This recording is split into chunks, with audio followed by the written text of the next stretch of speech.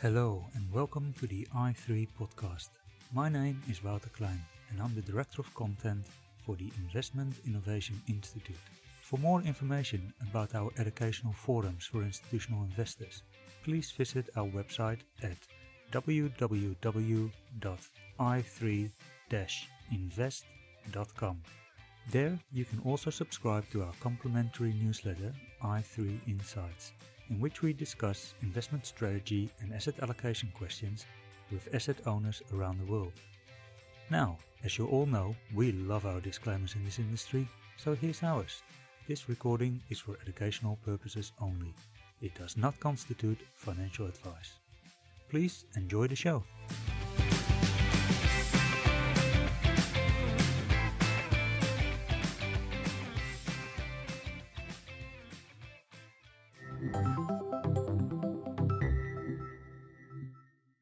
Welcome to the i3 Insights podcast. My name is Daniel Grioli, and I'm the Market Fox columnist for i3 Insights. I'd like to give a big thank you to our steadily growing group of listeners. We'd be very grateful if you'd tell your friends and colleagues about the i3 podcast. Thanks for your support. You can follow us on Twitter at i3invest and at market underscore fox. Today I'm joined by Simon Russell, He's the founder and director of Behavioral Finance Australia. Simon has a unique set of skills. His academic background is in psychology and finance, and he has a career spent in investment banking, asset consulting, and now consulting with clients on all things behavioral finance. He's the author of two books Applying Behavioral Finance in Australia and Cyborg How to Optimally Integrate Human and Machine Investment Decision Making.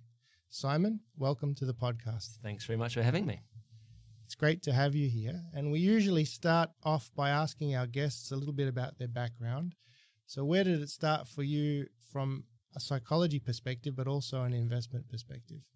I guess from a psychology perspective, well, that was my first degree at university. So I, I, went in thinking, do I want to be a psychologist? Well, I don't know, but it looks quite interesting. So I just picked up um, uh, a bunch of psychology psychology subjects in first year, and then found that to be fascinating, and continued through. So I ended up with a degree majoring in psychology, I guess originally, and in, I think some of the stuff that I did back then is now well dated and, and probably quite irrelevant uh, in terms of what we now know about how the brain works, for example. But some of it's really quite as relevant today as it was when I studied it back in the 90s. And, and to be honest, some of the studies are, are well precede when I studied them back then. So that was sort of, I guess, in terms of the psychology grounding.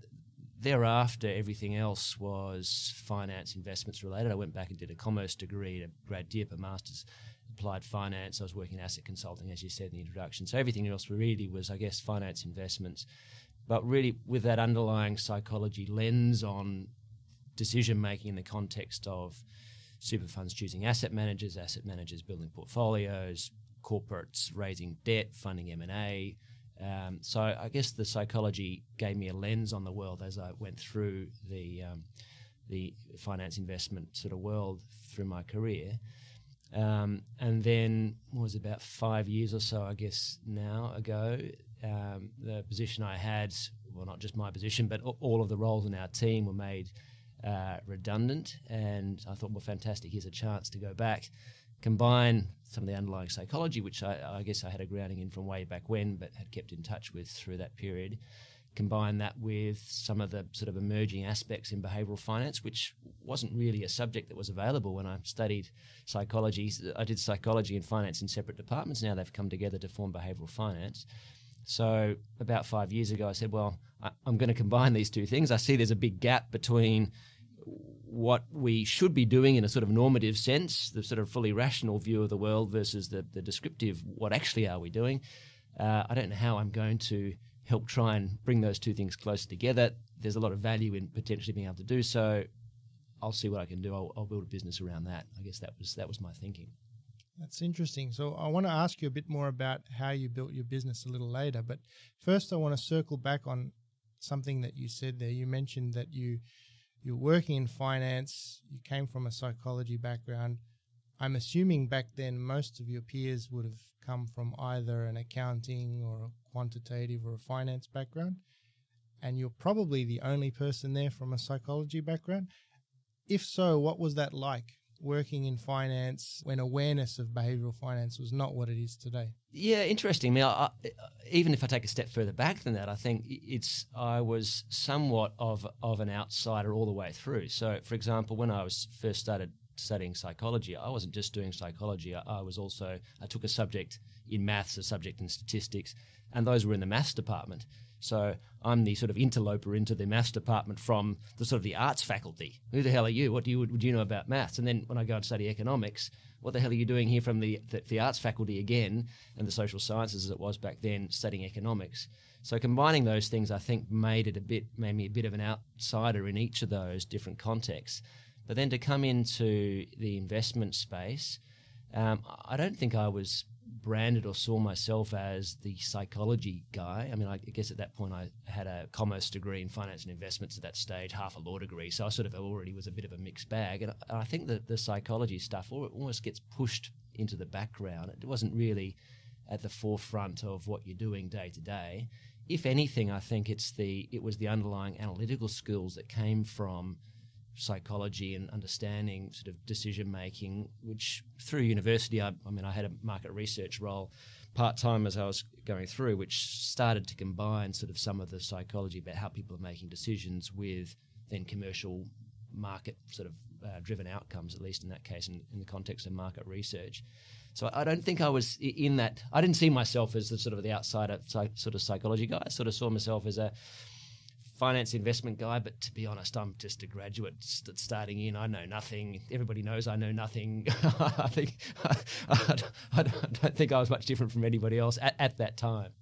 And in terms of what you were doing and what you were seeing others doing around you, whether it be in your own organization or in the market more broadly, how did having that background in psychology, that that different way of looking things, change the way you interpreted what was going on around you? Yeah, I, I think I think it did because uh, when you look at some of the psychology, you see well, your brain actually comprises a fair chunk of sort of subconscious processing. A lot of stuff happens that you're not actually consciously aware of. You can tease out when you put people in lab experiments and uh, and the like. So it makes you somewhat skeptical of what really com- what, what, what really is driving our decisions, how much of it is going on beyond our awareness. I guess, I guess that's a theme that comes out of the psychology. So if you take that theme uh, and apply it in the context of now I'm working with a whole bunch of people who seem to know what they're doing.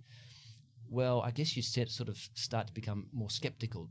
Do they really? Is there stuff going on behind the scenes? So with that in mind, I guess I mean I started out my first role out of university was an asset as an asset consultant, uh, and I started out, I guess, thinking that everybody knew what they were talking about. Um, and yourself of that illusion. Uh, well, my asset consulting career was relatively short, so it probably didn't fast take, learner. well, it wasn't a popular thing to have learned, but I mean, I guess I became quite skeptical quite quickly about uh, the ability of the asset managers we were meeting with every day to beat the markets. So, so not to say that none could, of course, but the, the, broad evidence is certainly what I'm aware of is that most can't. And how do we go about finding which ones can and which ones can't? Well, actually, I thought our ability to, to pick them was pretty poor as well. So, sort of two levels of skepticism came in. So, I started questioning the value of at least the part of asset consulting that I was involved in, manager selection, uh, I guess, in that respect, which is not to say the rest of the stuff we were doing w- was. Um, without value. But that piece, I sort of really struggled to see how we were really adding value. And I think the psychology added to that because you're sort of thinking, well, if we're overconfident, for example, one of the resounding things that um, that seems to come from um, various types of decision making, we're overconfident. We think we know more than we are, more than we do. Then that sort of gives you, I guess, a bit of a grounding as to what might be going on. We, we think we're getting this stuff right, but actually, when we go back and look at the evidence for it, it's, it's actually a bit weaker than we might think or hope. So coming back to five years ago at the end of your last job for a boss. Now you're self employed. And you had this idea, as you said, about creating a business around behavioral finance. Where did you start?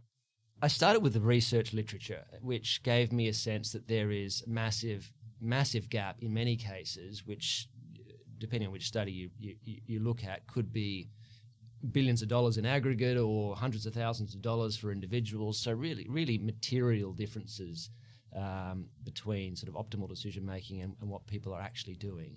So I looked at that and thought there's value in here at an individual level, an aggregate level, through various parts of the financial services investment spectrum. But how then do you create a value proposition that people are willing to employ me for so I didn't have a boss anymore, but effectively you've always got bosses when you've got clients. Um, so how do I find clients who are willing to value something that I can do that will help to close that gap?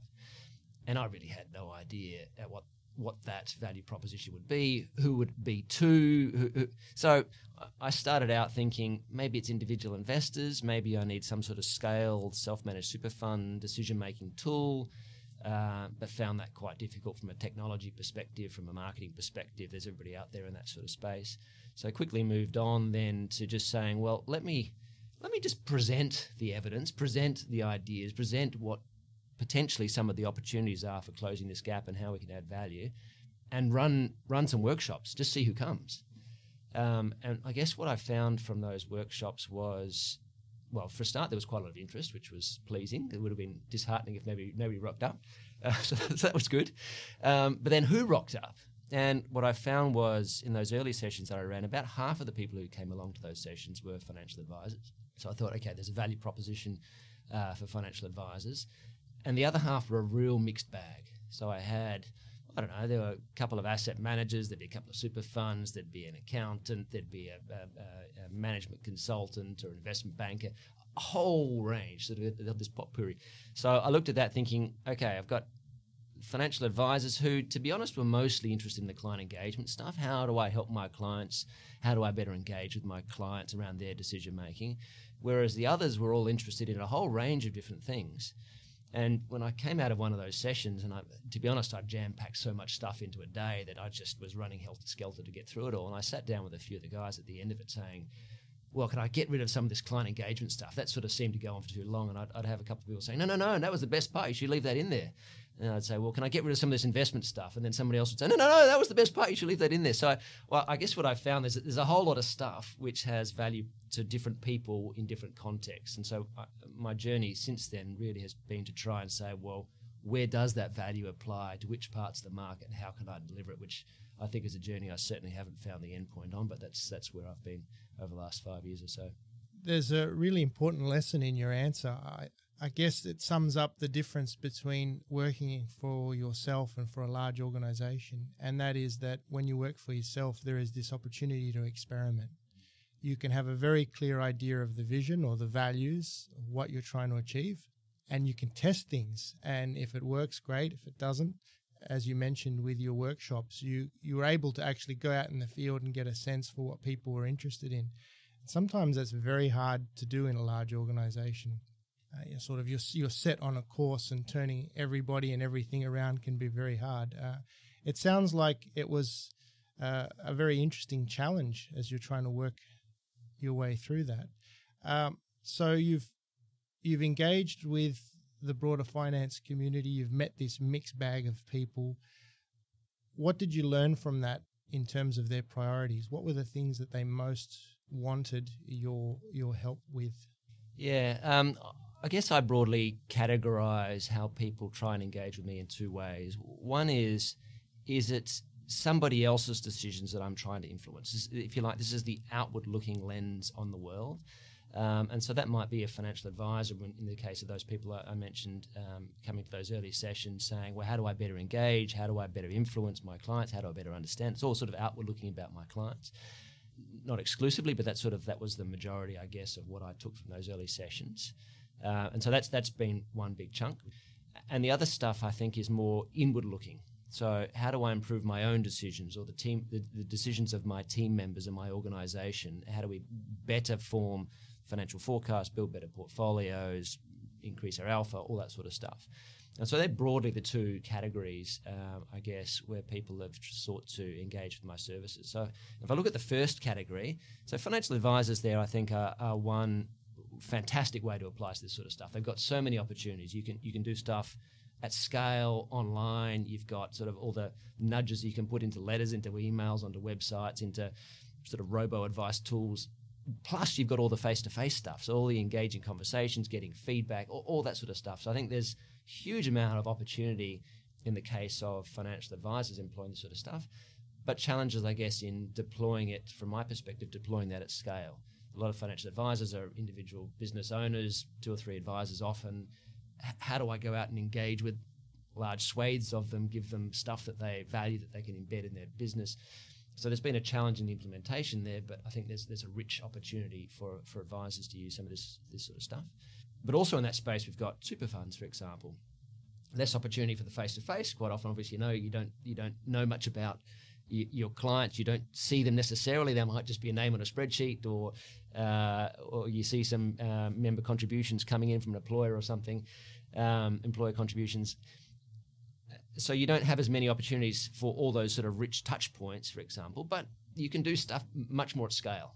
So suddenly, if you're sending a letter out to a million people and you start to tweak it in ways that will suggest, well, if we're going to nudge people 5% this way and 10% that way, well, suddenly a 10% nudge of a million people is a lot of people whose decisions you've now influenced.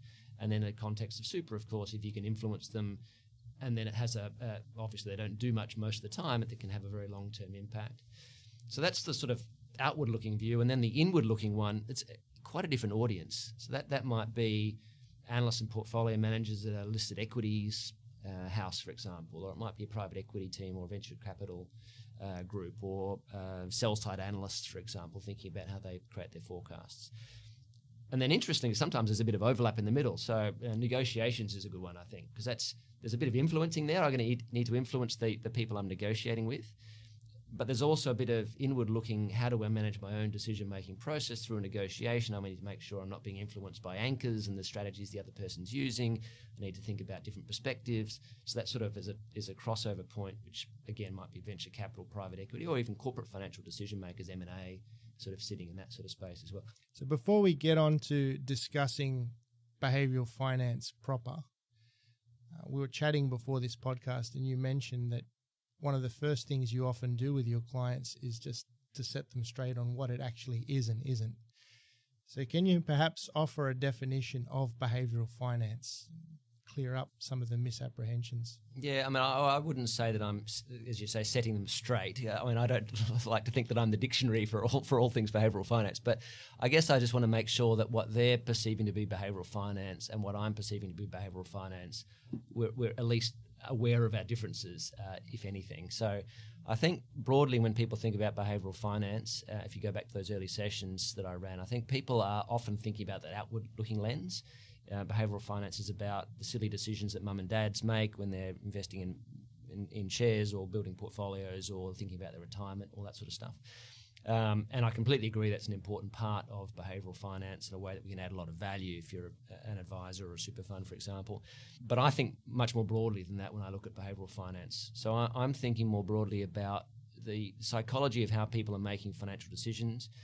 And so for me, that includes professional investment teams, uh, for example, how they are making them much more sophisticated, obviously, than, than your mums and dads, but not necessarily optimal, not necessarily um, uh, immune from biases and distortions, and there's plenty of research around how that works. The biases just become more sophisticated, don't they?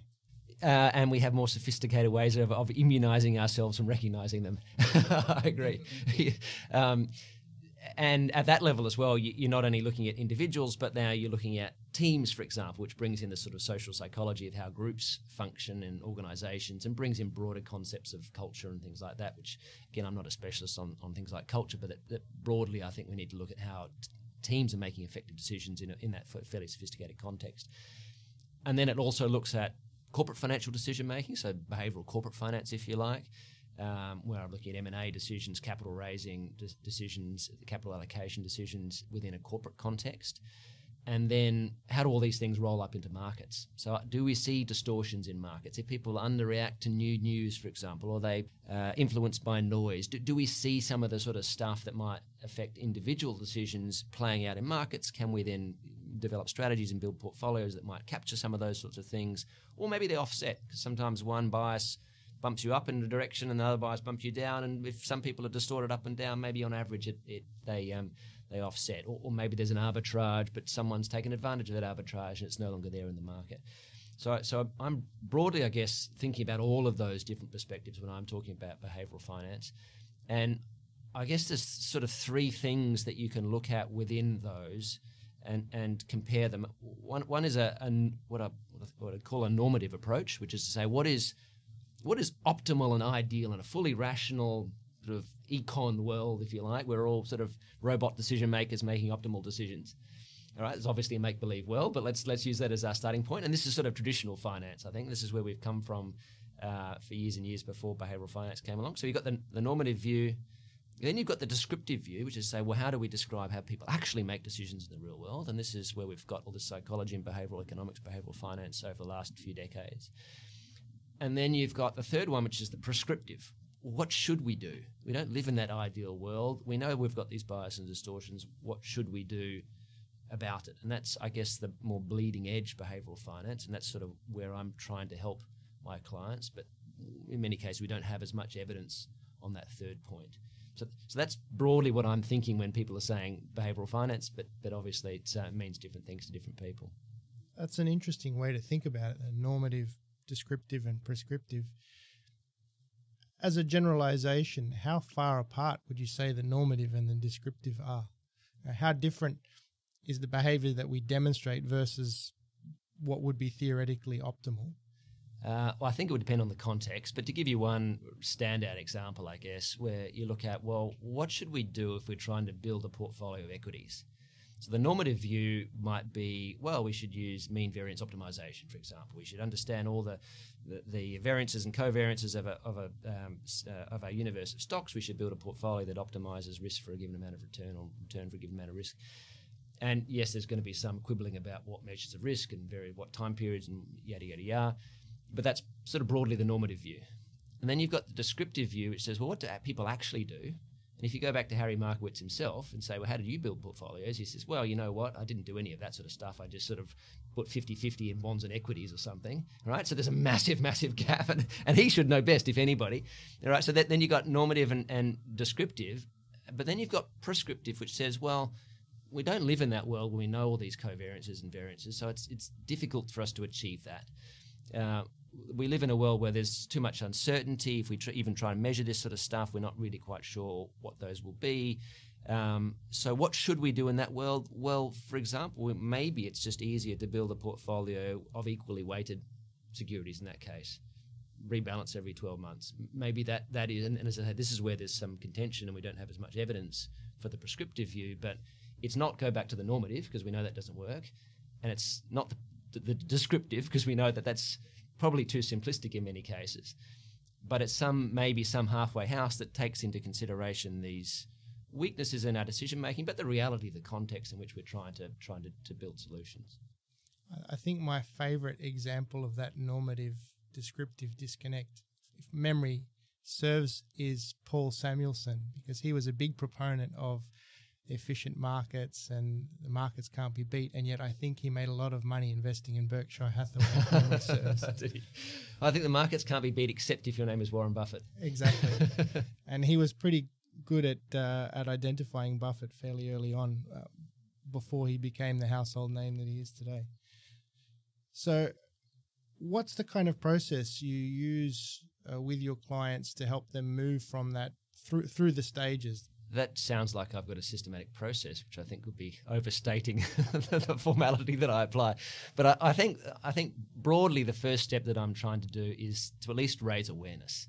So the the thing that people most engage me for, I guess, is uh, that awareness raising presentation, workshop, discussion, uh, some sort of evidence building session. So actually, the mo- the most common thing I do would be bite size hour, hour and a half, two hour workshops with teams around a specific topic. So, for example, it might be dealing with noise as an example. In fact, this is my single most popular workshop topic uh, dealing with noise. Uh, and so, in that session, I will then outline a lot of the research about well, how do we what do we understand about how people respond in different contexts to noise, finding patterns in the noise, various various other sort of distortions and biases in, in that context, and therefore, what does that suggest we should be maybe thinking more about? Now, I don't propose to suggest that I walk in with the right answers because I think it depends on the team, how they function, what their value proposition is, all their all that sort of stuff. But at least it's a thought starter to say there are some real problems and opportunities in the way that we do deal with noise, and here is the evidence to say it. We've raised awareness. Now, here are some ideas about what maybe might work for you guys, but really that's a starting point, I think, to then saying, well, what are the steps that we need to take? Do I need a, a checklist to help us? Do I need some to, to install some decision making weights? Do I need to change the order in which we do stuff? All, all, that sort of stuff then follows on. But that's, I guess, is the starting point to then start saying, well, where do we take it depending on the context? And you touched on this topic of noise, which was going to be one of my questions. What is it? How does it affect decision making? And what are some things people can do to help tune it out? What is it? I mean, I, I guess it's stuff that shouldn't matter broadly, isn't it? It's it's it's sort of randomness and sort of stochastic variability. Often in the context of actually, there's some signal in there as well, but there's a whole lot of other stuff that we really just need to ignore. Uh, and again, it depends on the context as to what proportions you've got of signal and noise. Um, but but part of it, I guess, is to say, well, can we just work in environments where there's more signal and, and less noise? So that might be saying, well, the longer the term I look at, the more signal I've got and the less noise. The shorter the term, the reverse. Um, and in some cases you can do that. In some cases you can't, of course. In some cases you can just frame the decision to do that. So um, part of what I'm trying to do with um, professional teams, but also with their clients, to say, well, actually, you can influence decisions just simply by changing the way you frame the information that's going out in the context of the decision that's being made. So, one piece of research that I did recently, which was done with um, about 400 or so individual investors, um, and I gave them a, uh, I split them into two groups. I gave them a choice of choosing an asset manager. Uh, one asset manager had um, good long term returns, but poor short term returns compared with the other one.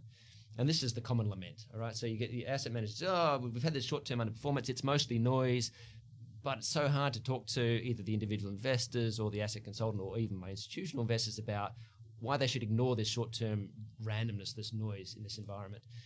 I, completely hear where they're coming from. So, so I'm not, not saying again, I'm walking in with, with all the answers to that because there's, there's quite a lot of issues in that. But one of the answers, I think, is just changing the way that you frame the, the information you're presenting.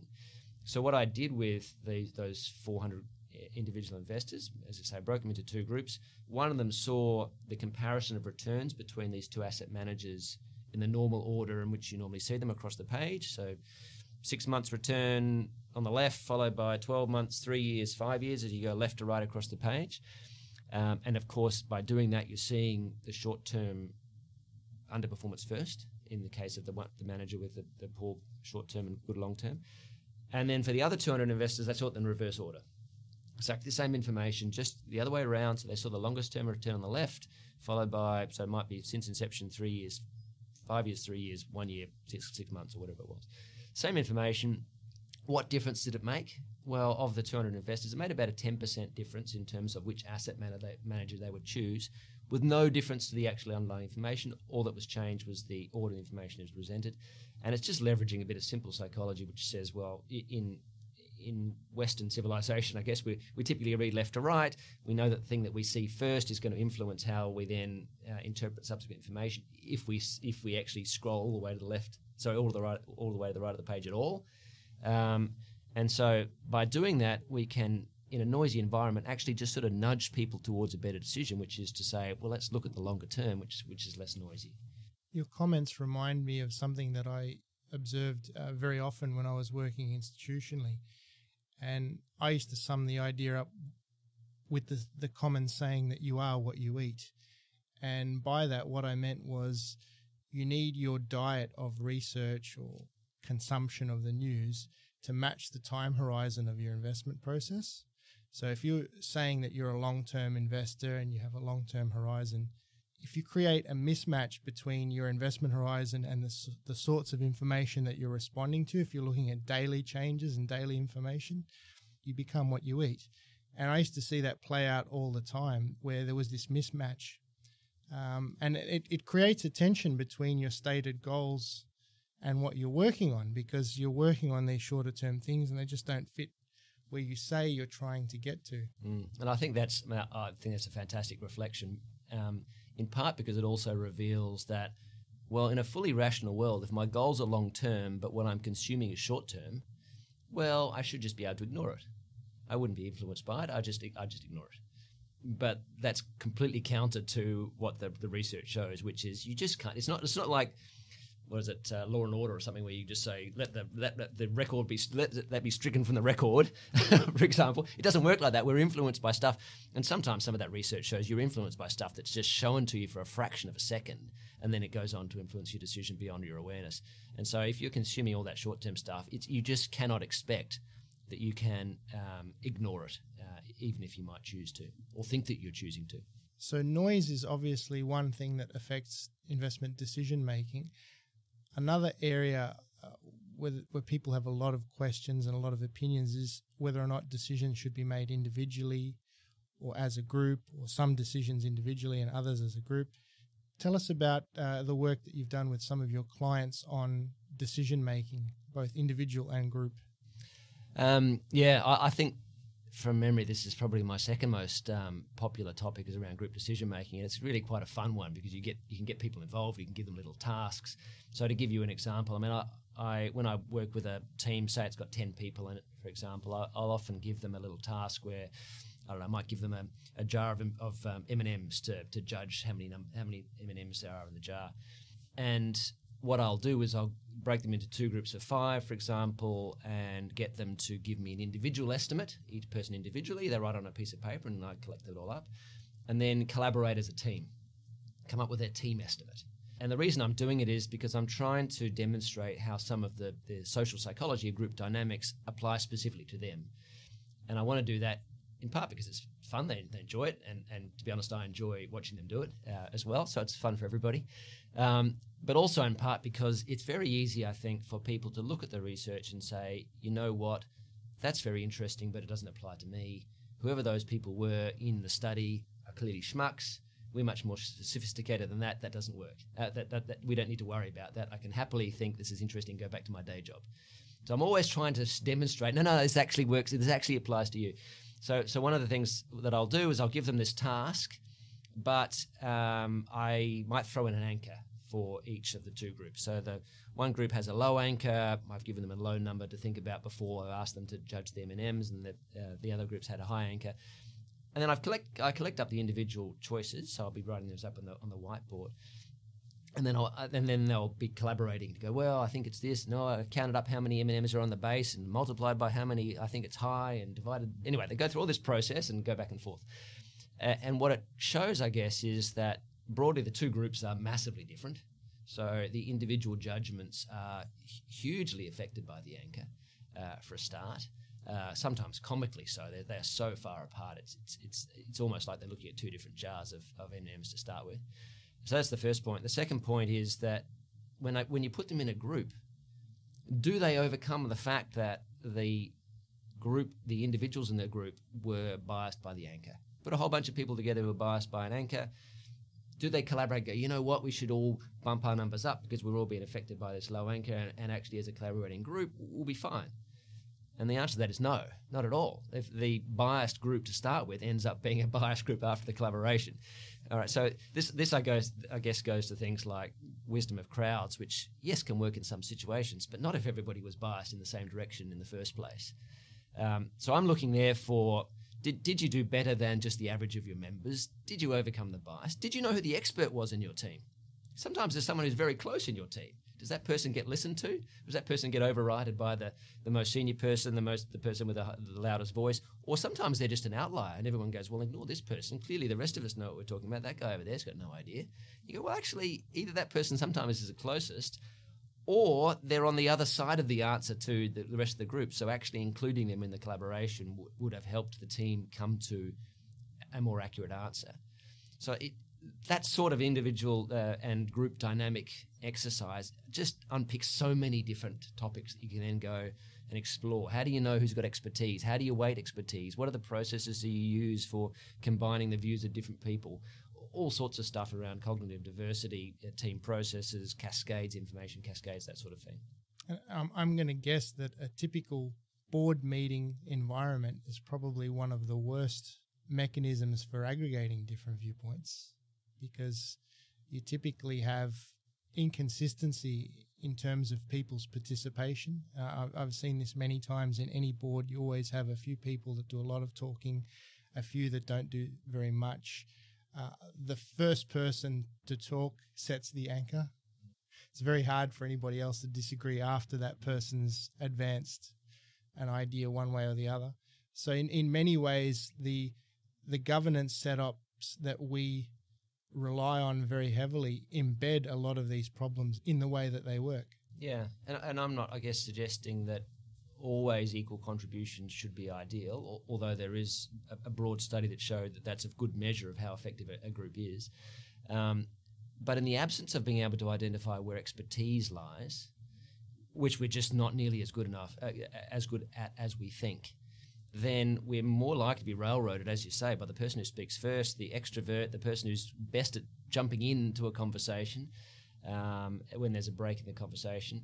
It's it's um, influenced by people who are more likely to interrupt. So this is where some of the gender stuff comes in as well, because women tend to be more interrupted in conversation, so then they have less opportunity to contribute which sort of sounds like it's a bad thing for men, but women are often doing the interrupting as well. So it's not necessarily uh, all, um, the problem of, of men. But one of the concepts that comes back from what's the role of women, for example, in, in group decision making, is that actually in groups with more more women in them, there are there, there in many cases is uh, more equal turn taking in a, in a decision making process, and more equal turn taking tends to be associated with better decision making in itself.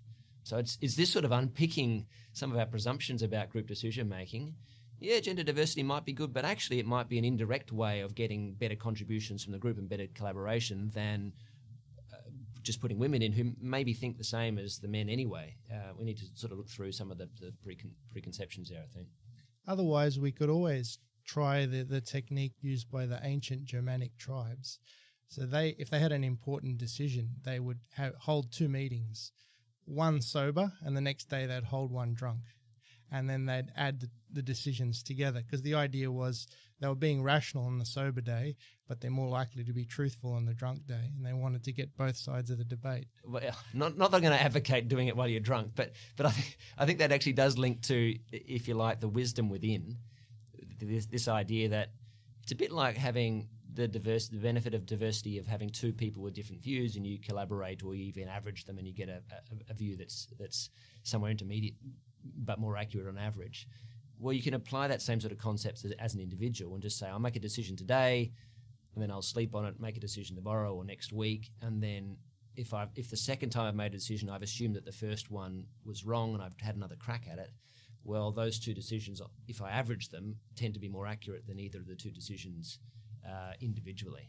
But for that to work, you've got to be honest, though. So if you rewrite history, if you change the decision that you made last week or the day before, which often happens, then that doesn't work. If I change it, so what? What, well, what I mean is, if you say you, you take a decision today and then a week later you revisit that decision, but if you revise history, if you change in your mind the the context and the story behind that decision, then you're not necessarily keeping yourself accountable or averaging the two decisions. I think that's where it's helpful to use things like uh, a journal or some kind of record to actually show what you were thinking at the time in the context because afterwards it's very easy to revise it. Yeah. Or to change the emphasis. It, oh, I completely agree in terms of using decision journals. In the case of having two cracks at a decision, so it might be I've decided to buy BHP, for example. Well, I've decided on Monday, but let me not execute until I have another look at it on Wednesday. And then, having made two judgments at it, do I still think it's right? I think the part of the benefit of that is that because some of the contextual cues are somewhat ephemeral. So, well, I was having a bad day on Monday. The market was down that day. I was hungry because I hadn't had my lunch. I had a bad sleep. The kids are up in the night time, whatever it was. Well, by Wednesday, a lot of those things have gone away. So if I'm distorted by that sort of stuff, well, those sort of even if everything else is the same, at least I've taken some of that distortion out of my decision, and and maybe that's maybe I come to the same conclusion. It's not to say I, I should differ, but I've at least given myself an opportunity to get outside of those some of those contextual distortions. It's interesting you mention contextual distortions, as that reminds me of some of the the work that I've seen uh, online from professional traders. So these are people that are trading their own book, um, often day trading. Most people give day trading a bad name, but leaving that aside, many of these traders approach the job of trading very much like a performance athlete. And they often begin by trying to figure out what that contextual baseline is. So, how are they feeling? Did they have enough sleep? Did they have something happen in their personal life? Because they've learnt, in many cases, through bitter experience, that's going to change their perception of risk and it's going to change the way they do their job. And so they want to set that baseline early because they may want to change what they do during the day to offset some of these contextual factors. And I think that's very interesting that they've, as I said, you can have your views on uh, day trading, whether it's right or wrong, but I think they've evolved. Uh, some of them have evolved a higher level of self awareness in that they're explicitly taking these sorts of factors into account every day before they start trading. Yeah. Well, even if you're not a day trader, I think you can use some of the same sort of concepts, though. I mean, if you look at what professional athletes do in terms of all the feedback they're getting, all the coaching and support they're getting, because they're, for them, a very small increment incremental improvement in their performance. If I'm Roger Federer and I go from the quarterfinals to the semifinals, or from the semifinals to the to the to the final, to winning the final, each of those increments is very very important for prize money and everything else. And so if you think, well, are my decisions, if I'm a an asset manager managing a billion dollars or $10 billion or something, well, actually, small increments in my decision making make a big difference as well. So I, would be looking at the same sort of model in the context of long term investing as well to think, well, how can I improve? How can I get feedback? How can I be more aware of some of those sort of contextual issues? And if it's a I don't know if it's a if it's an all day board meeting, for example. Geez, you don't want to be making important decisions at the end of that. If people are tired and hungry, for example, and they've already made a whole bunch of important decisions along the way, I guess that's the sort of stuff where you think that's just not an ideal decision making environment in that case. I used to always get annoyed when I'd see the board meeting scheduled after the audit and risk meeting. Because I'd think after four hours of compliance, your, your brain is just fried for anything in terms of long term decision making. Well, it depends what you want to what to, we want to happen in that meeting. If you just want people to tick a box and keep going, if we want to sneak something in that the board's not going to notice, ideal. it's funny you say that. I know somebody at, at a at a super fund that he found that. Uh, the more difficult papers, if they were at the end of the agenda, people would literally just um, would would just not rubber stamp it, but that the discussion was totally different compared to having them at the beginning of the agenda. Yeah, I think you're more likely to find decision making shortcuts. And if those shortcuts are do nothing, do the default, for example, which probably the, the two big ones in the context of dealing with complexity, if, if those things actually are the ideal answer, then fine, I guess. I mean, this, this is why that sort of prescriptive view isn't necessarily the normative view because sometimes the, the nudge and the right answer, the, those simple heuristics actually can, can help you get to the right answer but I wouldn't want to rely on that necessarily for, for all types of decisions in all circumstances. The the other heuristic I used to see all the time was, can you go back and do more work on this? Uh, which is fine because many times ideas you know, evolve and they need to develop.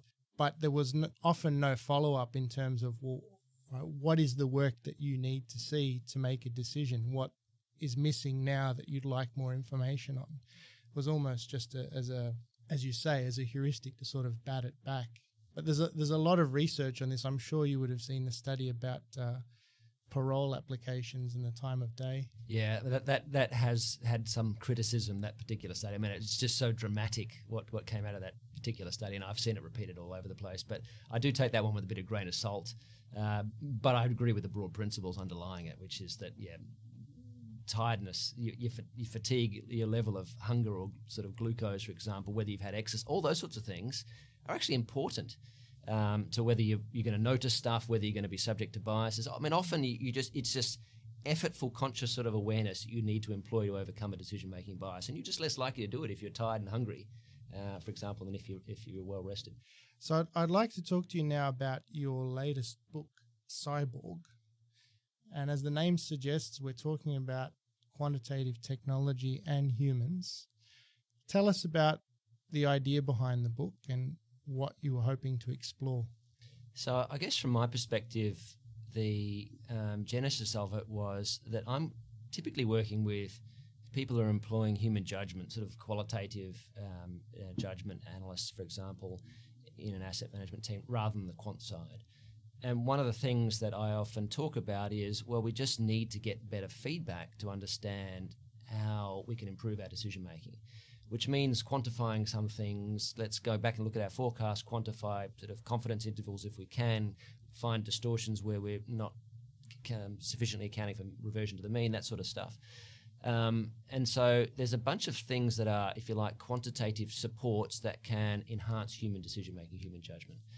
So what the book was is taking that and saying that's one way that you can combine humans, human judgment, and machines or quantitative processes to improve overall outcomes. That's, if you like, taking qual and adding a bit of quant. But there's also other models. So I, I well, I'm a bit of a fan of the science fiction uh, genre, and I've used a few of those models in, in the, in the case of that book. So that particular model I've called the Iron Man model because the Iron Man character was a human being, but he was enhanced by all this weapon systems and armor and computer generated God knows what. Um, and so that's the model for let's take humans and support them with a bit, bit of quant and, and, analytics around human judgment. Essentially, it's a human judgment process still, but just supported. Versus uh, what I call the Terminator model, which was based on the Terminator movies. You've got that Arnold Schwarzenegger character who is a robot. Underneath, he is just a robot. But if he was just a robot, he would be identified as such very easily. He's supposed to be an infiltration unit going off and killing people, and you'd be able to identify, no, he's look, he's a metal thing walking down the street. That doesn't look right. So what they've done is they've enhanced him by putting a layer of human flesh on the top of him, so he could walk into the police station um, without being noticed immediately. So that's the second model, which is saying, can we take the quantitative sort of side of things, sort of big data analytics, and add a bit of human insight to it, and then enhance it uh, get better than it would have been just with the quant by itself. So they're broadly the two models. Um, uh, and what the book is saying um, generally is that these are ideals, and yes, there are ways that we can do these two things much better. And yes, there's a lot of sense in combining, creating these sort of cyborgs. But the evidence to date is that we're actually pretty poor at it. So that when we combine, we take often a simple algorithm, we add a bit of extra expert human judgment to it, and the algorithm plus the expert does worse than just letting the algorithm go by itself, uh, for example. So that, that sort of is teasing out, well, what can we do to overcome some of these problems and how can we sort of nudge ourselves towards these sort of more optimal ideal outcomes? I read a paper a few years back on this topic and it had it had an interesting idea which was humans are good at noticing change, which algorithms are not as good at. Algorithms are very good at integrating different variables because they do so consistently. So they're, they're not as biased and their evaluations aren't as subject to outside influence. So what this paper was arguing is get the humans to study the variables because they'll notice the change in the variables, but use an algorithm to integrate the variables. To me, that sounded like a fairly sensible approach. Is that the sort of thing that you're working on? Yeah, I mean, I think that's that connects very well. I mean, it also goes back to that dealing with noise one um, topic we talked about earlier. So one example I talk about there is when you're dealing with noise, we are we're in an environment where we're more likely to see change anyway. Y- yes, I agree with you that we're we're um, more likely to perceive it once it reaches us, but it's actually more likely to reach us in the first place. So, as an example, you never see a, a news headline that says, "Here are all the important things that stayed the same today." Uh, for example, it's all about change. But then also another example is where you see those pictures of the African savannah, and it and they say, "Spot the, Can you find the leopard? Where's the leopard in here?" And you search and you search and you search. Well, if you're like me, you search and you search and you can't find this thing, and you, and you start thinking there is no leopard here. They've just given me a picture of some grassland, and this what are they trying to do? And then they hit play, and you see the leopard move, and as soon as the leopard moves, you go, oh, how could I possibly miss it? There it is, right there. Uh, and it's and it's it's our sensitivity to the move and the change that's allowed us to spot it in, in, a, in a second as soon as it, as soon as that's happened. So I completely agree with you. We're predisposed to see changes, but again, I, mean, I, agree as well on the, on the quant side that it's it's the consistency of application um, that is its strength. And what's happened, I guess, in some of those um, expert plus algorithm scenarios is that whilst, as you say, the expert's better at noticing the change, what they sometimes do is to overcorrect for it. I guess that that's the challenge, knowing how far you can rely on human, human judgment. And we tend to be a bit too overconfident to think, well, actually, you know what, the algorithm doesn't really understand that this time is different. Well, actually, no, con- the consistent application is more powerful than we might expect. And yes, sometimes we do need to change it, but perhaps not as often as the human judge might think. So, in, in terms of your work with this idea of integrating uh, quantitative tools and human decision making, what would you say is the most common mix of the two? I think the most common mix is no mix at all, or sorry, that's that's an exaggeration. Is not enough mix. So walking into a group and finding the qual people who are quite averse to quantitative stuff, uh, often quite disparaging to, to, to it, uh, for example, and then walking into the quant side and finding the exact opposite message. So it's all uh, a bit airy fairy, and we, we, we know what we're doing. We've got the data, and, and we'll crunch it and tell you tell the answer. So, not to say that there isn't people in intermediate ground, of course, but it, it just doesn't seem like it's a natural hybrid, and it takes a bit of effort to get in there when people are coming from the two quite uh, distinct uh, perspectives. Could could that be a personality thing? And I say this purely anecdotally, but when I think of the people that I know that are predominantly quantitative in the way they invest versus the people that I know that are predominantly qualitative, again, small sample, anecdotal, but I observe in those two groups what I think are some fairly different personality traits. Could it be that you're drawn to the approach that suits your personality and the way you think? And maybe that's why there's not so much crossover because you're kind of not just trying to mesh two approaches, but different personality types as well. Yeah, and it might be more than personality. It might be your skill sets after you come out of university and get put in the quant team maybe, and then you develop a whole bunch of skills and practices and, and, and knowledge of the quant processes, and you go further and further away from qual in one direction, and similarly for the quant for the qual people going further and further in their direction. Um, but it's uh, interesting, I think, because you go back to I think negotiations is one of the topics where which combines some of these aspects together. And one of the things that comes out of negotiations research is we just don't take enough of other people's perspectives into account. So in the context of negotiation, I need to understand where the other party is coming from, and, and we can then find the sort of in, what they call integrative solutions or sort of synergistic win-win type scenarios. And actually, similarly in group decision making as well. For me to understand and to incorporate diverse views into my decision making, I need to understand what those diverse views and perspectives are. And, and we're just not uh, as good at that as we should be, or, or, or potentially need to be, to optimize those sorts of, of um, decisions in those sorts of contexts. So, so, I would look at that as, as, a, as an example, and there's a good test of it. Um, which I've seen reported various places. Uh, James Montier comes comes to mind, but I think it's, it's been in newspapers as well, which you might have seen as well, where you ask people, you ask a whole bunch of people in, individually to say, well, can you pick a number between zero and 100? You seen this one? And you, I've seen Richard Thaler do some work with this. But oh, yeah? yeah? it's been in a few places. Yeah. yeah. So can you pick a number between zero and hundred, and there'll be a prize for, for the person who is closest to picking two thirds of the average of everybody's answers. And so, in fact, I used this the other day with, with a group to see what what they thought. But the the idea is, well, maybe if everybody picked randomly, then the average would be 50. If I wanted two thirds of 50, then I'd go 33. But then you go, well, wait a minute. If everybody else went 33, then I should go two thirds of 33, which is 22. But then wait a minute. If everybody went 22, I should go two thirds of 22, which is what 14 or something. And you, you could continue this process ad infinitum until you get all the way down to zero. So the logical outcome is is zero if everybody was completely rational. Um, but we're not all completely irrational, so it requires you to take the perspective of other people to see to think how many steps do they take in this process. Yeah. At what point do they give up? Yeah. Yeah. Uh, and some people don't take the process at all. So you see people going for 50 or 33 or some other numbers. I think they even got a few people saying 100. I don't know how that happened. I think they're confused by the question. I think highest wins maybe, um, but and I think the James Montier one that I, I, recall seeing, you could sort of see well, there's peaks around 33 and 22 and 14 or whatever the numbers were. So you can sort of see how many people have taken two or three or four steps in the process, and how many people have taken all the way down to zero. And there's a spike at zero as well. But it requires that um, perspective taken, and, and we, we tend to take one or two steps, but not three or four or the infinite answer sufficiently. Not, not that the infinite answer here is right, because that would require everybody to be fully rational, and so you'd want to come back from that a bit. But we're just not taking enough of a perspective of what other people are thinking.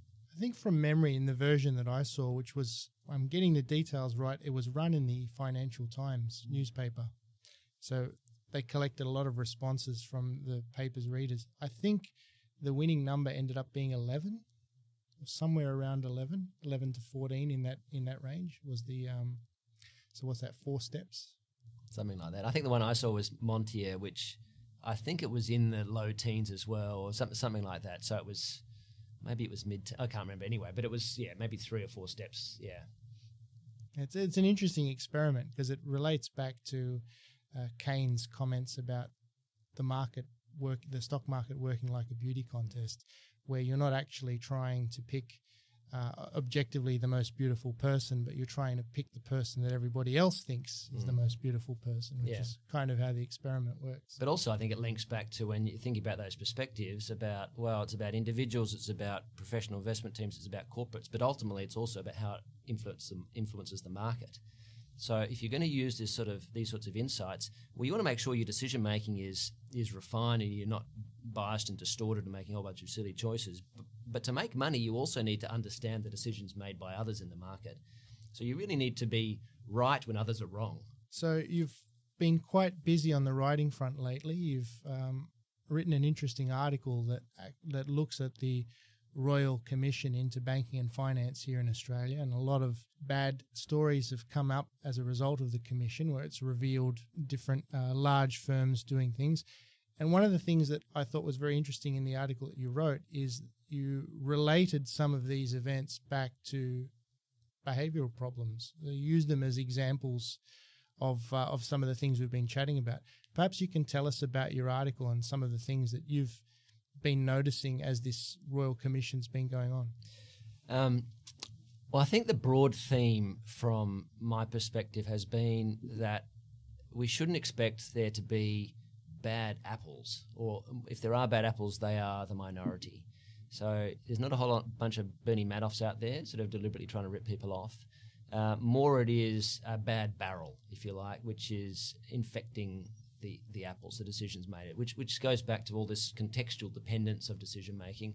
So that's that's broadly the theme, and and the couple of articles um, that I've written uh, have been reflecting that. And one, for example, was about conflicts of interest.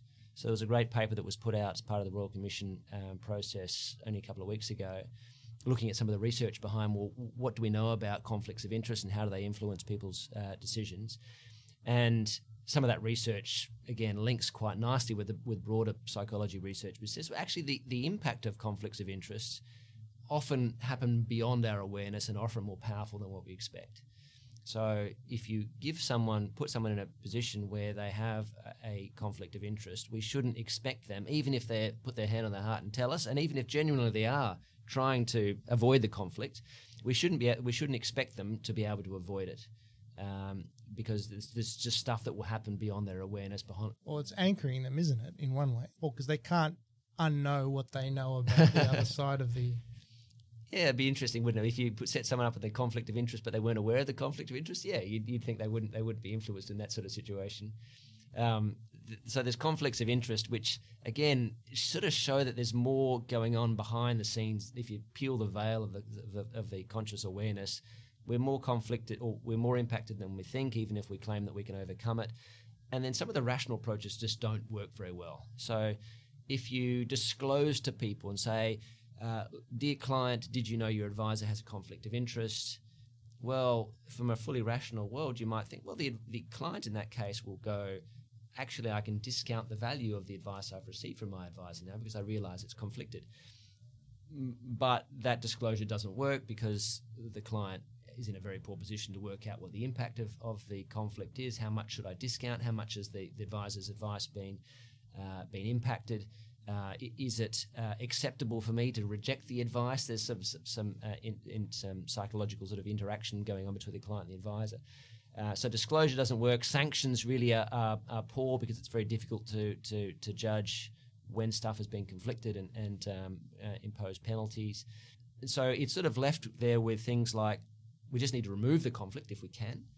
But in many cases, again, in the real world, even if you remove conflicts where there's a commission, for example, which is clearly conflicted, well, in many other cases, you're still left with another conflict, which is, you know, what I have to um, convince my client that my service is valuable. The way I convince them it's valuable might not actually connect with me providing a valuable service, for example, because the client's judging my value on different metrics to me actually delivering the value uh, as an example, or even where biases and conflicts actually help. So if an advisor is incented to help a client to take out insurance because you know what they've got a dependent family and if they lost their job then there'd be significant hardship. Well does it really matter if the advisor then is incented to deliver that insurance? Because actually it's ended up in a better outcome for the client and maybe that wouldn't have happened if there wasn't that incentive around.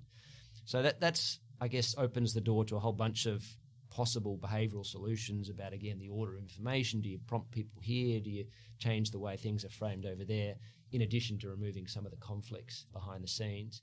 So that was one perspective on it. I guess the other thing is just looking at how decision making works in a large organization like some of the major banks that we are talking about beyond mere conflicts of interest.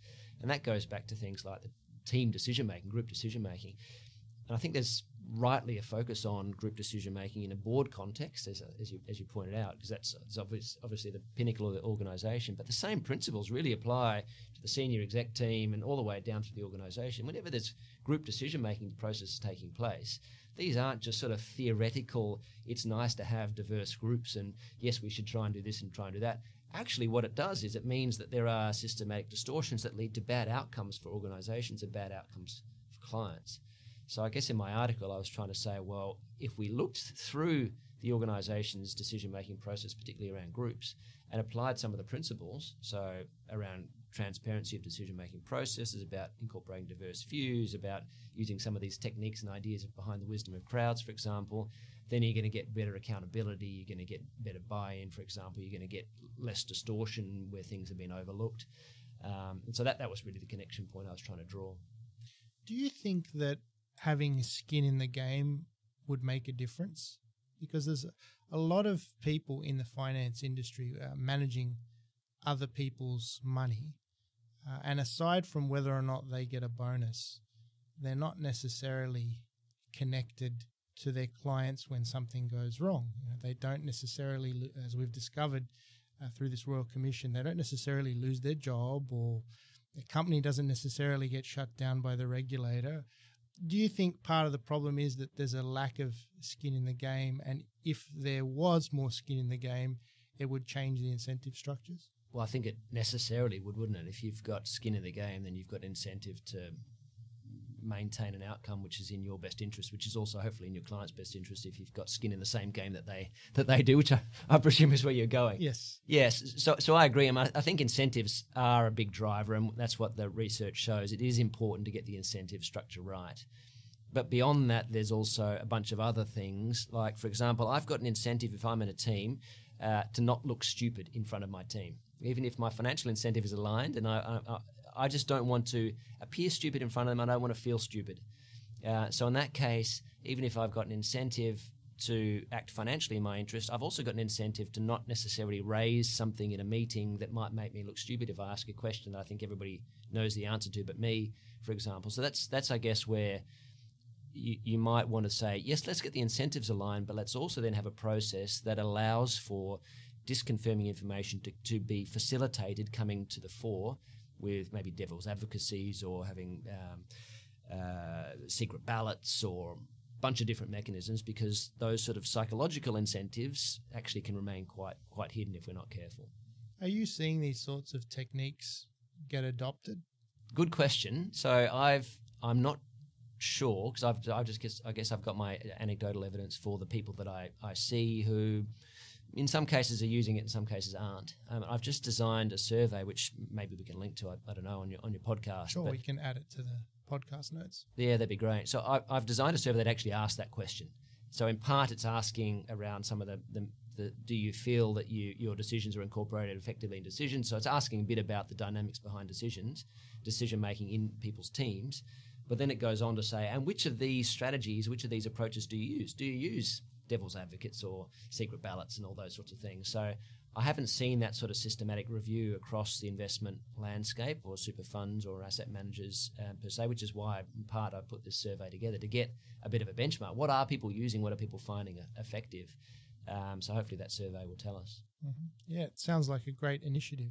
So, talking a bit further about some of the things you've been writing, another great article was this uh, article that you published recently on eight gaps in the way uh, people make decisions and use behavioral finance.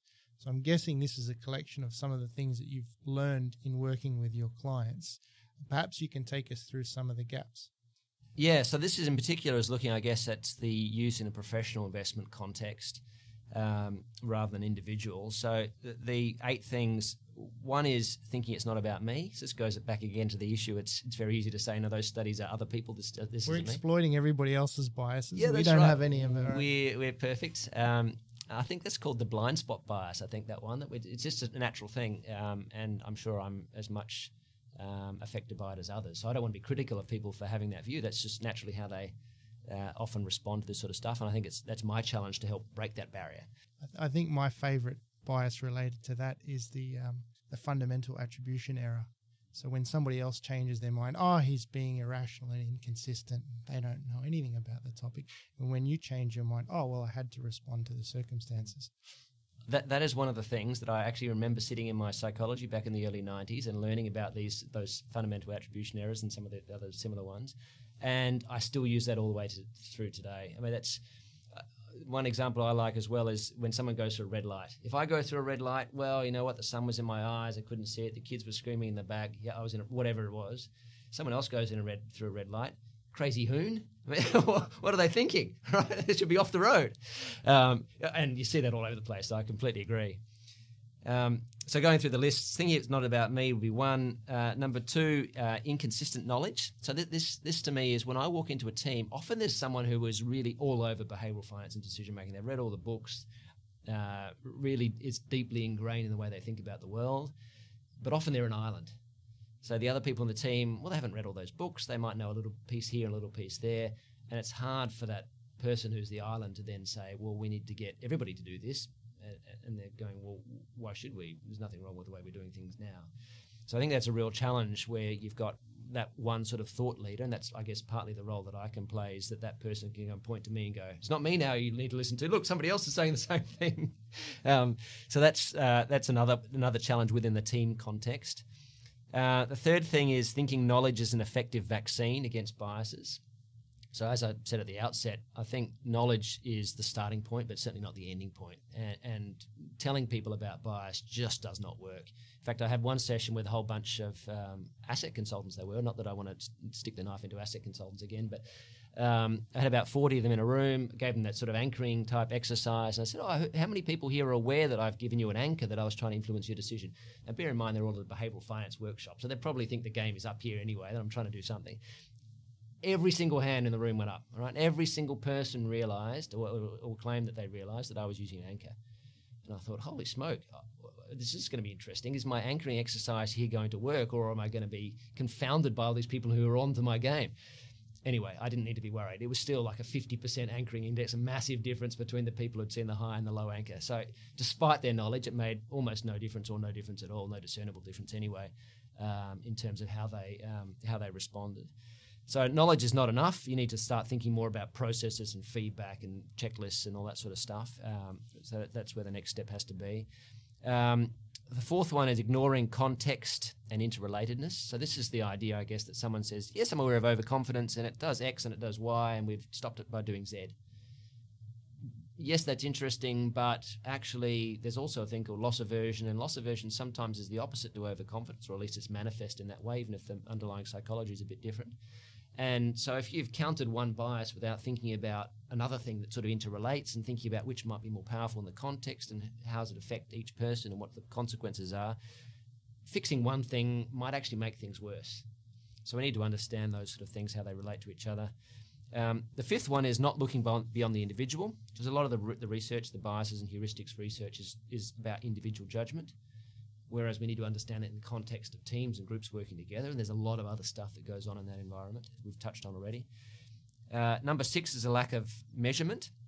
So this is going back to the point about quals and quants, about the, the, the, the quals if they're creating financial forecasts, for example, well, are, are, we capturing those forecasts and analyzing them, thinking about confidence intervals and that sort of stuff? If we haven't done that, it can be too comfortable for us to assume that our forecasts are okay without going to check for some of the distortions. You become a bit like the fishermen. They remember all the, the big fish they catch and conveniently forget the days they come home with an empty bucket. Yeah, I think that's that's probably a good analogy. I think. Um, yeah, and there's a whole bunch of hindsight sort of biases and distortions that, that happen in our memory. And again, often beyond our awareness. So th- th- these aren't people who are deliberately coming home and saying, you know what, I caught a massive fish today and I've never caught a small one. Uh, that's genuinely what they remember. Um, and this goes back to the work of Tetlock, for example, which I see you've got a Tetlock book on your bookshelf here. Um, but that, that's the sort of stuff where people have said, well, um, can I predict whether the Berlin Wall will fall? No, I don't think it will. And then Tetlock comes back 10 years later and says, Oh, you got that one wrong, didn't you? And the person says, No, I didn't. I, I got that right. You, your records clearly are wrong. For example, um, I, to be honest, I, I, um, trust Tetlock more than I do his, uh, his forecasters and those sort of things. Uh, number seven is not optimizing humans and machines, which goes back to that point about sort of cyborgs and how we don't quite manage to combine them in ways that actually are enhancing in many ways.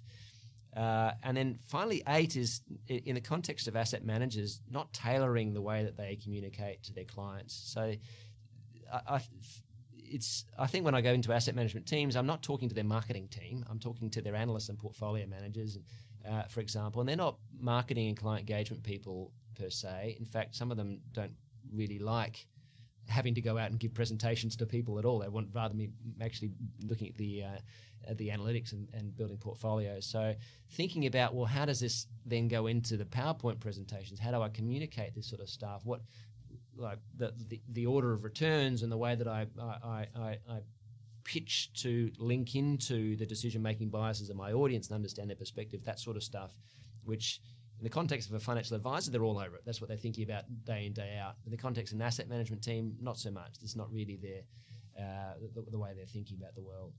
Even in terms of, again, this idea of the information that they're consuming. So I'm, I'm thinking of a, a fund manager that I know that showed me their portfolio management model that they'd built in Excel. And literally the two tabs that were next to each other, one was a tab of the portfolio and the other was a tab of performance attribution in the same workbook next to each other.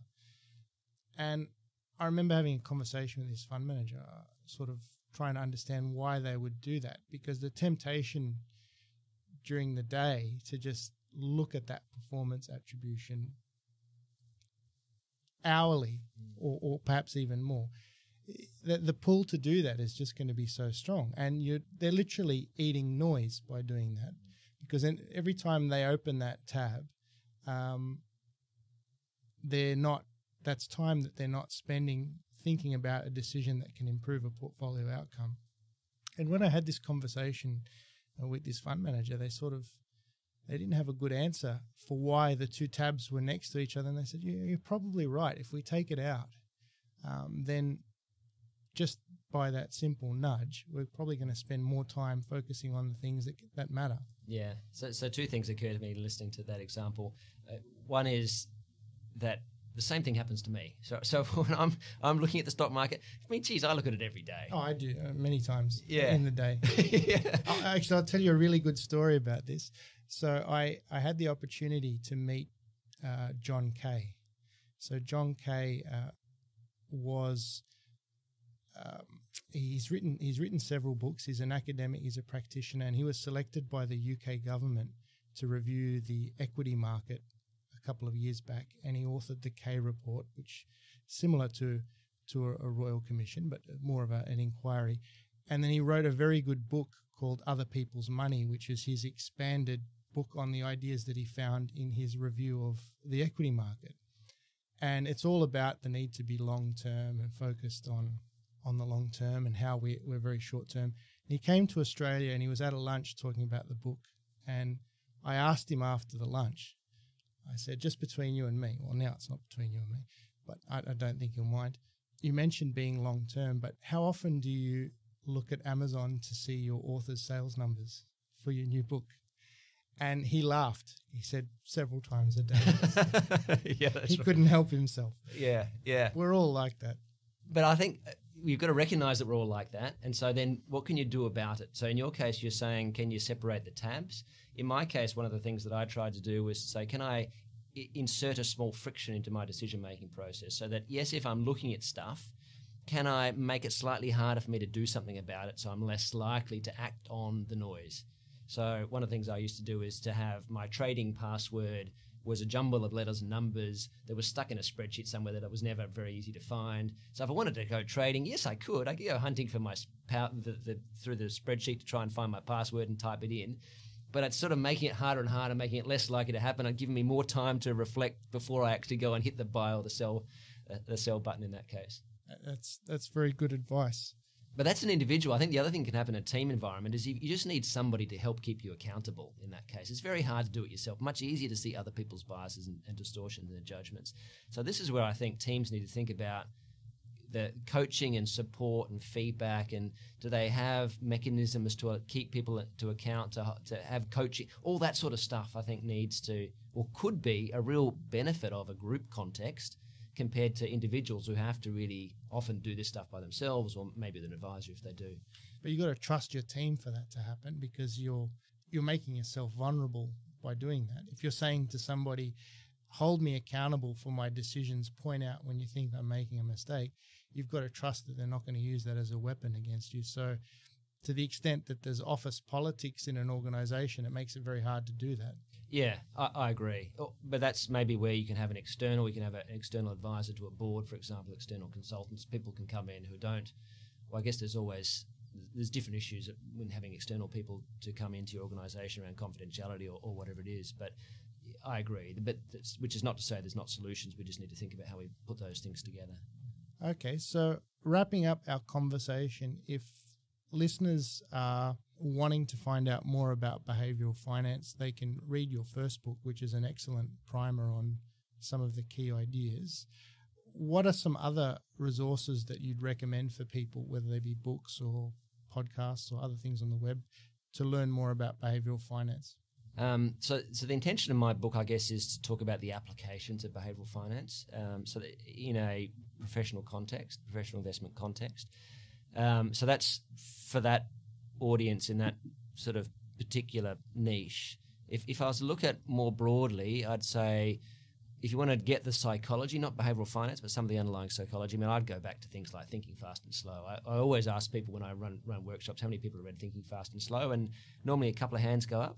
Uh, and then I, have read all of it? Th- It's a that's exactly book. right, and, and that's often my second question. And then another couple of hands go up in terms of how many people have not read all of it but have read half of it, for example. So that there is, it can be a bit of a drain to get through the whole theme. But even if you get through half of it, I think it's it's well worth reading half of it.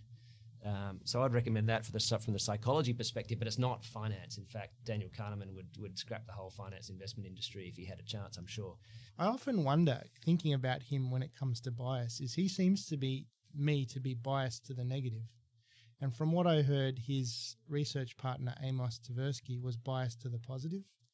Uh, unfortunately, Amos Tversky is no longer with us. But when you when you hear Kahneman speak, he seems to have a very you know almost um, nihilistic bias. Well, I think he's come from the biases and heuristics um, perspective, which I can understand how you become negative after looking at that sort of stuff because, my goodness, we're just so many distortions in that context. But if you look at, for example, someone like Gary Klein, who's looking at um, the decision making in context, looking at expert judgment in a naturalistic decision making environment, And in that case, you find, well, actually, in some cases, experts, despite the way we malign them for various judgments that go wrong, actually, there's some genuine expertise out there which sometimes they just can't articulate, but actually, it has a can have a very powerful effect. To give you just one example of that, which I've got from Gary Klein, there was a um, um, a commander, I forget the title, but anyway, someone in charge of a ship, the HMS Gloucester or something, I think it was, in the Gulf War. And um, in this context, there were, I think, American planes flying back over the this, this ship, uh, coming back from sorties over Iraq or something. And this guy was watching these planes coming back over the radar, and they didn't have their friend or foe signifier on, so he couldn't tell what they were. But they're all these American planes flying, sometimes straight over his, his boat but he was always he was thinking about this sidewinder missile or something anyway some type of missile that, that might be fired at his at his ship as well. And he's watching all these things come over and then and then he froze and he saw this blip on his radar and he thought that's a missile. And he got a second radar to check. Yep it was a missile and he shot it down. And Gary Klein then's gone back and analyzed well how did you know? And he said oh well I could tell from the radar. And they went yeah but how? Oh well it seemed to be accelerating off the coast. And well, actually, the radar didn't show it was accelerating. It had the same blip as every other dot on his radar. It was going at the same speed. All that was different was its altitude, which he couldn't judge from that radar. I didn't tell him the altitude, and so they're going, "Well, how did you possibly uh, know that this of all the ones, this is the one you shot down?" And he thought he had ESP. He just thought, "I don't know how this happened." anyway, that, when they when they go digging far enough, what they realized was that because the missile was at a lower altitude, it t- just took longer to register on the radar because it had to get away from the clutter of the um, coastline. And what he noticed, although not consciously, but what he noticed was it just the blip took longer to appear on his radar. So it sort of appeared mid-screen rather than at the edge of the screen, sort of thing. Yeah, I don't know if it was mid, but anyway, it took it, there was a bigger there was a bigger gap there. Now he, in his case, it was subconscious because he wasn't aware of it, but he had he was in an environment where he had re- received a whole lot of feedback because he'd been watching these blips come flying over him, so he had good feedback but the decision making process behind him making a judgment was beyond his awareness. So those sorts of things. So Daniel Kahneman, I think, has been against sort of the judgment and, and gut feeling and all that sort of stuff, and I can understand where he's coming from because in many cases it leads us astray. Whereas Gary Klein is saying, well, in some cases, actually, it can really help you, even if you can't articulate it. So I think there's a bit of balance in there. And I definitely read, recommend reading some of Gary Klein's stuff. He's got several books out there as well, which are well worth a read if you want to balance it against uh, Daniel Kahneman. Yeah, he's, he's written some great stuff. I remember one of his books where he's talking about his work with firefighters mm. and very similar sort of experiences that they're in a situation and many times they respond to a fire and they don't even know what it was that tipped them off. That, for example, they might be in a building and the floor beneath them is about to collapse, but an experienced firefighter will, will know that uh, because they've received enough feedback and they've built up an expert intuition. And he um, he describes that process of how you do build up an expert intuition very well. So they're, they're probably two. And the other one I think we might have mentioned on the way through is James Montier's. It's worth having a look at some of his work, I think. Um, he brings together some of this sort of stuff in a in a professional investment context, I think, quite well. Yes, and he's a very funny guy too. He's uh, his little book of behavioural investing, I think it's called, is a is a great short read uh, which will give you some great background on a lot of these topics. I mm. think. Or the big book of behavioral. It's not called the big book in behavioral investing, but it is a much thicker yes. sort of textbook like one, which is again I think I'd recommend as well. Okay, so final question, and then I'll let you go. What are three things that investors, individuals, and groups could do today to improve their investment decision making? Wow, three things. Um, I think broadly you have to look at, at the one of the conclusions, which is we just know less than we think we know. That there's massive overconfidence in our industry. So where does that lead us? Well, it probably means that we should be doing less in many cases than more, uh, which means probably trading less frequently, for example. Um, certainly individual invest well sorry again depends on the context but individual traders for example we go back and look at Barber and Odean, I guess, um, for, for, a good example of this one. But trading less frequently, which at, at, an individual level, and I think it also links then into um, um, in some of the broader research about the characteristics of asset managers. the lower frequency trader ones tend to have higher alpha than than, than higher uh, frequency ones. Again, there's tax and other things in there as well. Um, so doing less, Two, I think, would becoming more self-aware. I mean, I think some of this sort of stuff, again, we've we've touched on the idea that this is it feels like it's about somebody else. It doesn't feel like it's about me. So, understanding, again, this goes back to sort of having humility. I don't know as much as I think. It actually applies to me. I need to understand my context and how I might feel, how I might, might be influenced. Uh, would be a second thing. And then thirdly, maybe it's around that group decision making piece, which is again linking to the same sorts of concepts. Maybe I don't know as much as I think I know. Maybe I need to have humility around my the decision making context. But actually, maybe other people can contribute more to my decision making than I might like to think. Be they holding me to account, or be they giving me different perspectives, be they playing devil's advocate. Maybe that's that might be number three. Okay, some great tips there. Thank you very much for spending some time with us talking about your work and about behavioral finance more broadly. And hopefully, we can have you on the podcast again. Sounds good. Thanks Simon, for having me. Thank you very much. Thank you for listening to the i3 podcast. For more information, please visit www.i3-invest.com. Thank you very much.